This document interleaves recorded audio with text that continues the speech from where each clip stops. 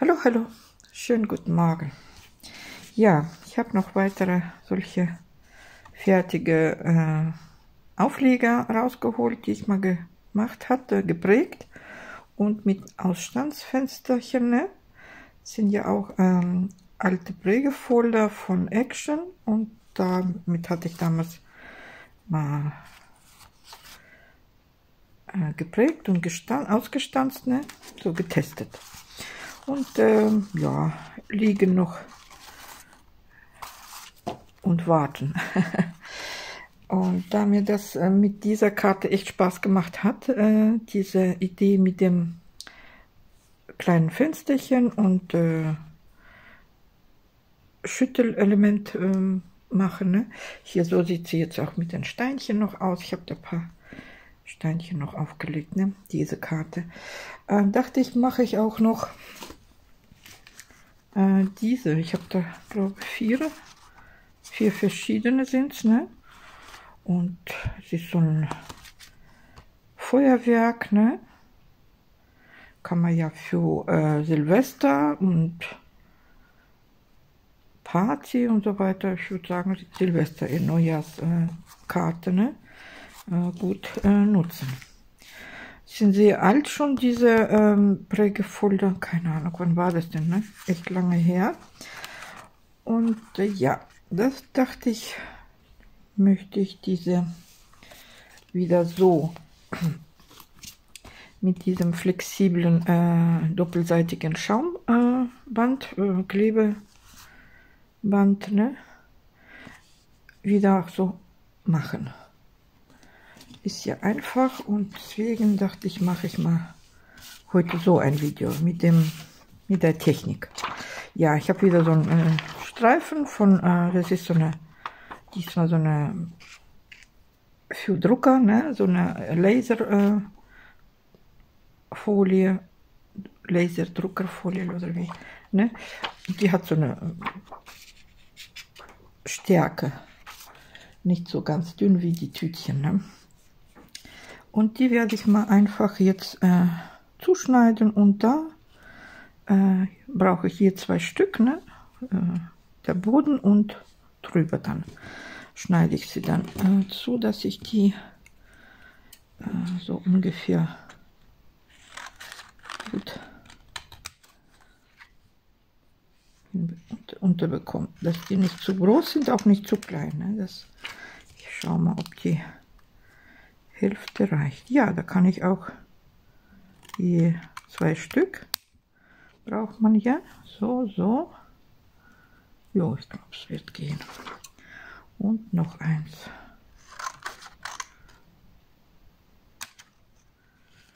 Zweimal.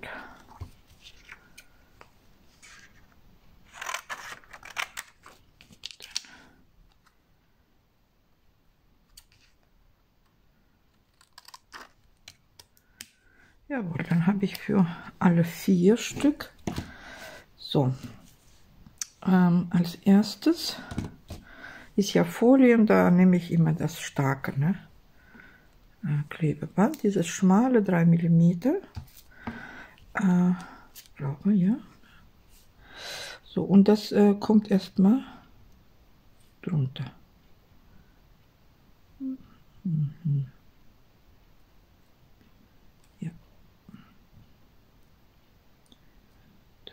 rum.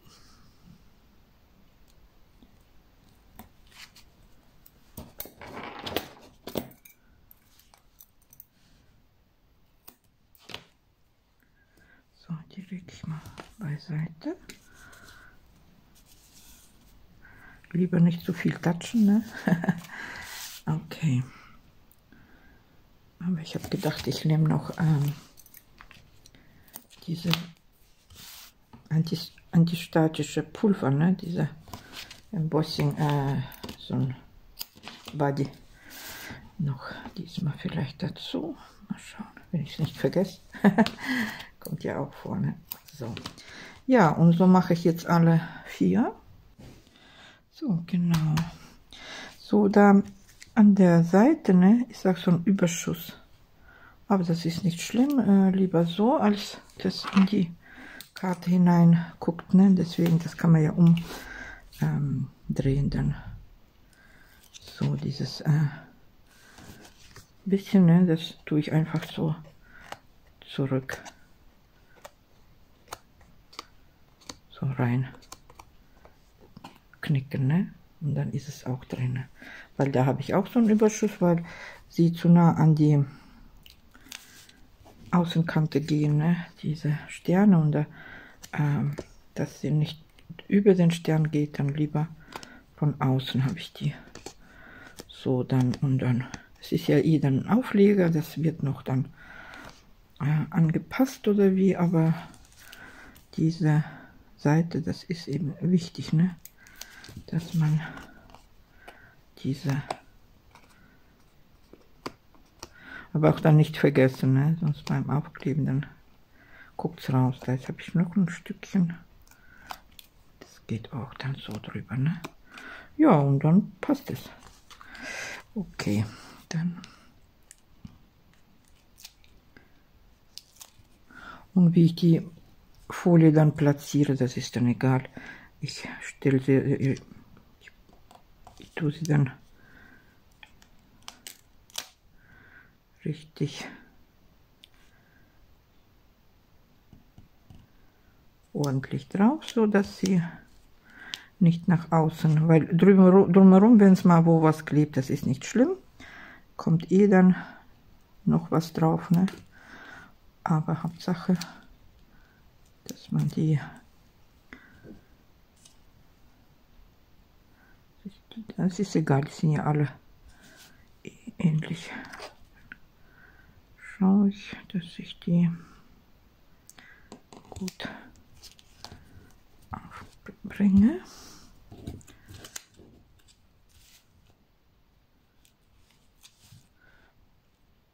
Ähm, weil äh, ohne ne, ist so langweilig, wenn man auch drunter was vielleicht legt, ne? Aber die Beweglichkeit, die macht schon was aus, ne? So, warte mal, habe ich ein breiteres? Sind alle gleich. Das ist breiter, glaube ich. Kann ich dich dann nur auflegen. Hauptsache nicht drüber kommen. Naja, wenn es auch vorkommt, kann man ja dann wegschneiden. Die Folie. Ja, guckt mal, dann ist ja schon was entstanden. Jawohl, dann habe ich erstmal den Boden und sozusagen die obere Seite umgedreht, ne? Schön, sogar so, gefällt mir schon, macht sowas, pippt auf. Genau, und dann muss ich jetzt, ähm, das wird, ich habe ja äh, diese äh, Rolle diese Schaumstreifen äh, da drauf gemacht. Ne, hatte ich ja gezeigt und schneide ich dann so aus. Und ich glaube, es würde gehen sogar. Ich mache mal ein Stück. Ich mache mal das mittlere. Und äh, dafür muss ich jetzt beide Seiten abziehen. Ne? Erstmal, dass sie so geschmeidig sind, dass sie äh, flexibel sich legen können drumherum. Ne? So, ich würde sagen, ich könnte mal, ich habe hier so einen Silikonpinsel, könnte man den dafür nutzen. So.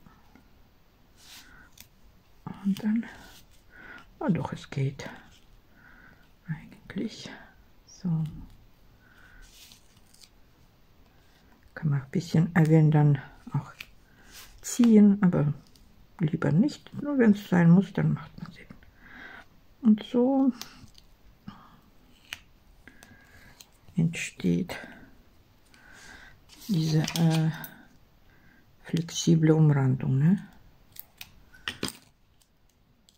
dass man da einfach das so aufbringt.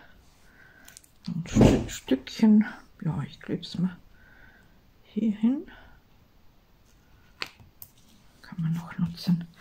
Ähm, ja, und dann kommt dann Streu rein und äh, wird zugeklebt. Ich glaube, ich mache mal lieber sofort.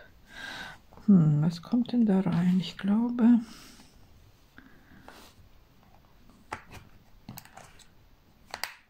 da einige.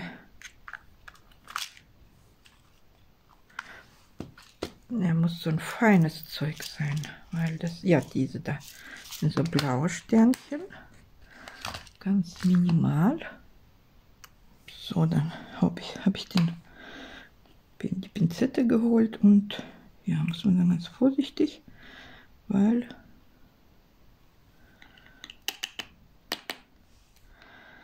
ist ja offen alles, ne? So, dann haben vielleicht noch ein großen Stern. Ob der stört oder nicht, weiß nicht. Ah, weiß, ja, weiße. So, diese Herzchen sind auch, sind so wie holographisch oder wie heißen die? Ähm, irisierend, ne? Hält auf. Auch schön. Sache drinnen bleiben. Oh, das ist echt so eine Feinarbeit.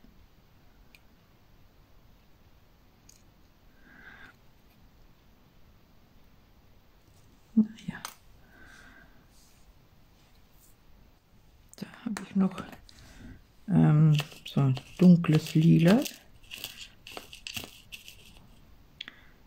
Ähm, nicht so viel, ne? Ich nehme mal ein paar.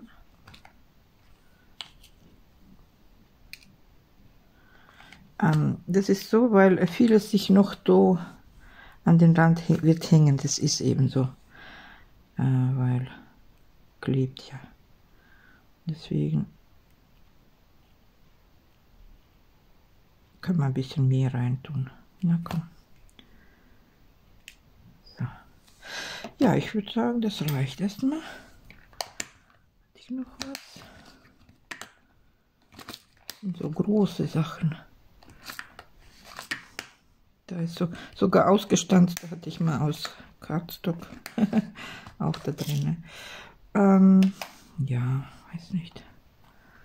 Soll ich auch ein grünes Blümchen? Ne, das reicht, ne? So, genau, dann kommt die Folie drauf.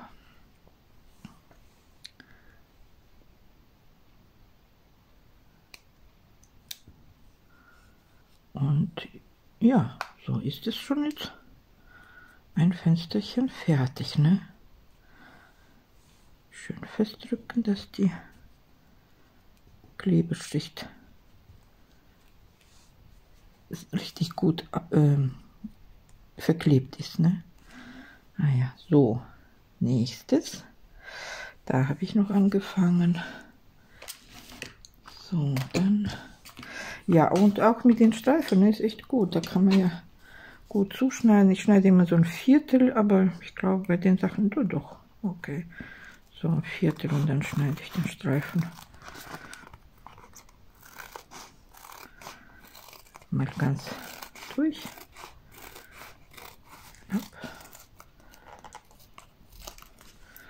Und äh, werde wieder die beiden Seiten, beiden abziehen ne? und so äh, flexibel die Bänder, so die Klebeschaumbänder auflegen. Das ist ja mit.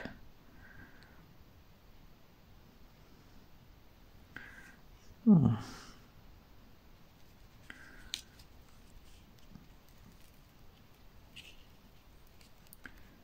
Na komm. So.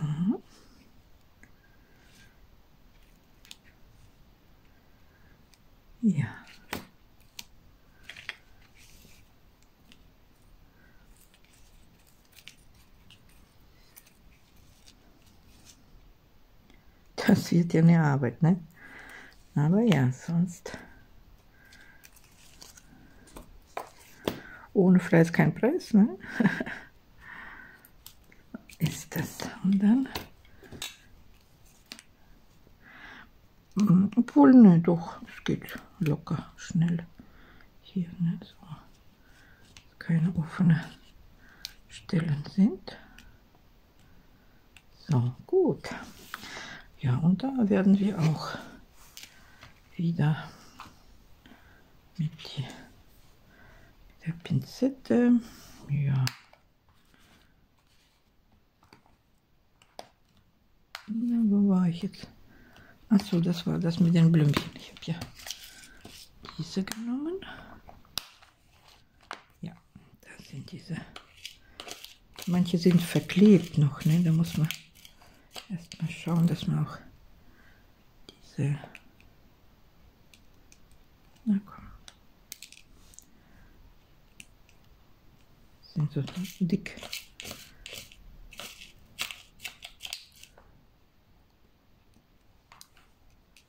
Na komm. Die zu bekommen, ne? Das ist. Dann sind sie. Dann kleben sie, ne? Wenn man mit den Händen anfasst. Ist auch so seine Sache.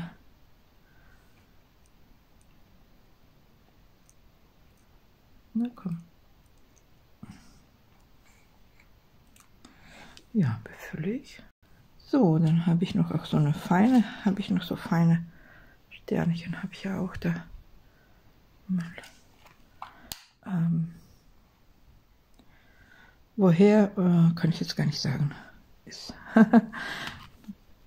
Gibt es ja alles Mögliche, wo man so was gekauft hat. Und dann wieder schön andrücken, dass die ganze Klebeschicht verklebt mit dem Aufleger und mit der Folie, ne? So, na guck mal, hier hätte ich auch mehr machen können, ne? Da habe ich schon etwas mehr. So schön, ne? Ich kann hier schon mal umdrehen. Ja.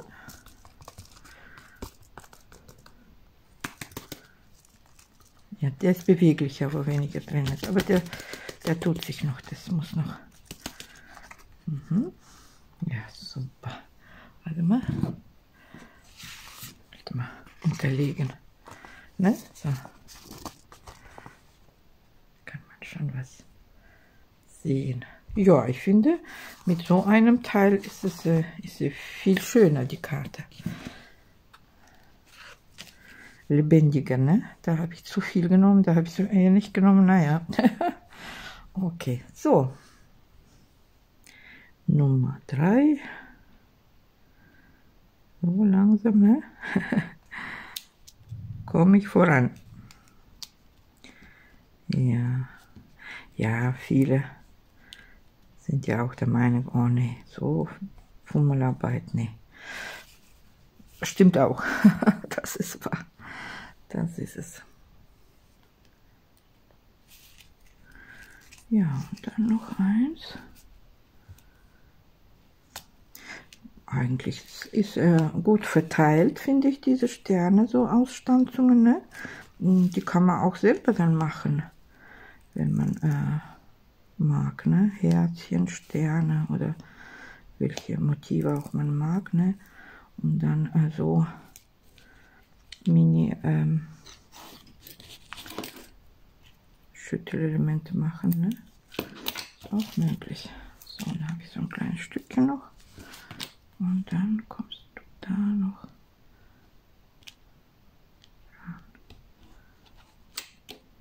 So. Ja, und das noch. Hm, doch. So, befüllt. Dann kommst du noch drauf. Warte mal. Immer schön festhalten, ne? dass man nicht da. Na komm. Mag nicht. Naja, dann weg damit. So. Und das noch. Schön.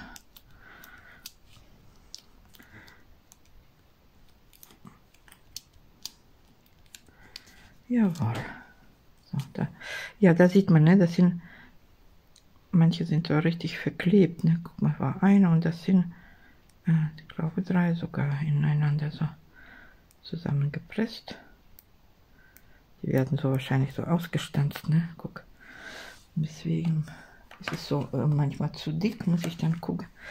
So, ihr Lieben, guck mal. Wow. So, dann will ich mal ein äh, weißes Blatt unterlegen. Und ne? so ein Highlight. Und es hört sich an. Gut. Ja, und das kommt drauf an, was man drunter mag. Äh, vielleicht so eine ähm, Silberfolie. Guck mal, die macht das echt, ne? Hammer. Oder weiß. Und das tut schon was. Und dann kann man ja Unterschied. Oder guck mal, wenn ich rosa unterlege, ne? kann man auch dann die sehen dann anders aus, wie so man das äh, variiert. Ne? Das ist die eine Karte. Ja, mal schauen. Dann mache ich auch noch weiter. So, das ist nun dieser Tipp zum Thema Tipps und Tricks, was wir so äh, Feinarbeit, ne, der Bastler macht so, um ein Projekt dann weiter zu gestalten und fertigstellen oder auch erweitern. Ne? Ja, doch, guck, da sieht so aus und da vorne, ja, und dann mit Klebe, äh, Schaumklebeband wieder äh, so äh, 3D-mäßig aufkleben, ne? finde ich echt schön. Da kann man noch Steinchen oder ein Motiv noch. Mal gucken, wo ich die dann nutzen werde. So, ihr Lieben, das äh, war's dann. Äh, danke fürs Zuschauen und bis demnächst. Tschüssi.